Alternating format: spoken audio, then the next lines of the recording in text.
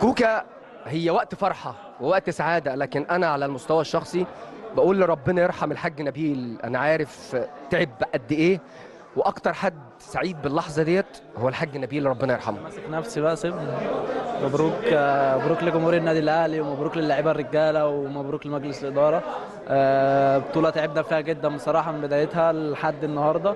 كللناها في ملعبنا في وسط جمهورنا بمكسب مهم من خلصنا الماتش من أول خمس دقائق مبروك والحمد لله دي البطولة الثالثة ليا آه، أفريقية. آه، إن شاء الله المزيد اللي جاي يعني بإذن الله. كوكا ثقة مستر كولر في كوكا وحبه لكوكا واحد من اللعيبة اللي بيثق فيها ومش مش سهل إن اللاعب ياخد ثقة المدير الفني. في الأول في الآخر الواحد بيحاول يعمل اللي عليه مش أنا بس كلنا فالواحد بيحاول يجتهد لحد أكيد بتحاول تاخد ثقة المدير الفني لأن دي دي شبه أهم حاجة عشان تقدر تكون موجود فالحمد لله الواحد بيحاول يعمل اللي عليه عشان يكون موجود ومبروك للرجالة النهارده قاموا بالواجب يعني الحمد لله البطولة دي تهديها لمين؟ وتقول إيه للجمهور العظيم النهاردة؟ البطولة دي طبعا بهديها لوالدي. أنا جيت قبل المعسكر بيوم رحت وعدته بيها. آه، السوليه كابيتانو ده. آه، وعدته بيها. إن شاء الله بكرة أروح له كمان بالذهب.